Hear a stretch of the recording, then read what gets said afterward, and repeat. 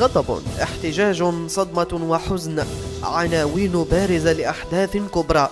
بصمت سنة 2018 في هذا التقرير نستعيد أبرزها. في أبريل أطلق رواد منصة التواصل الاجتماعي حملة لمقاطعة منتجات ثلاث شركات عبر عدة وسوم وهاشتاجات من أشهرها خليه ريب. الحملة دفعت بعض الشركات المعنية إلى إعادة النظر في أثمنة منتجاتها بعدما تكبدت خسائر مالية مهمة.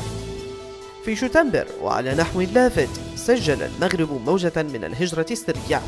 موجة بلغت ذروتها بعد انتشار الحديث عن خروج قوارب سريعة تدعى الفنطوم والمستعملة في تهريب البشر بسواحل مدينة تطوان. الأمر انتهى بشكل مأساوي بعد وفاة الشابة التطوانية حياة إثر إطلاق البحرية الملكية النار على القارب الذي كان يقلها بمعية مهاجرين آخرين.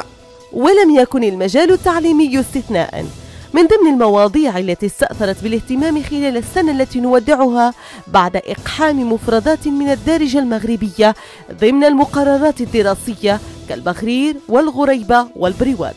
وأمام هذا الجدل لم تجد الوزارة الوصية بدا من حذف هذه المفردات من المقررات.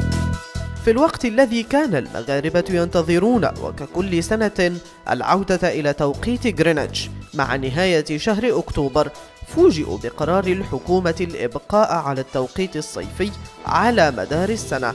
القرار قوبل برفض واسع واحتجاجات قادها التلاميذ في عدة مدن لما رأوا فيه من آثار سلبية. إلى ذلك سارعت الحكومة إلى التجاوب مع هذه المطالب من خلال تعديلها للزمن المدرسي بعد دخول نقابات تعليمية على الخط. ومن الحوادث المأساوية التي بصمت سنة 2018 سقوط سبعة قتلى وأزيد من مئة جريح في حادث خروج قطار عن سكته بمنطقة بقنادل ضواحي مدينة سلام. وعاش المغاربة أيضا خلال هذه السنة تفجر ما بات يعرف إعلاميا بقضية راقي بركان في أعقاب انتشار مقطع فيديو عبر مواقع التواصل الاجتماعي على نطاق واسع. يوثق لممارسات غير أخلاقية بين أحد ممارسي الرقية الشرعية وإحدى زبنائه وهو ما انتهى باعتقال الراقي. الحادث فتح نقاشا واسعا حول القوانين المؤطرة لمثل هذه الممارسات بالمغرب. ولعل من أكثر الأحداث المضيئة التي ميزت السنة التي نودعها.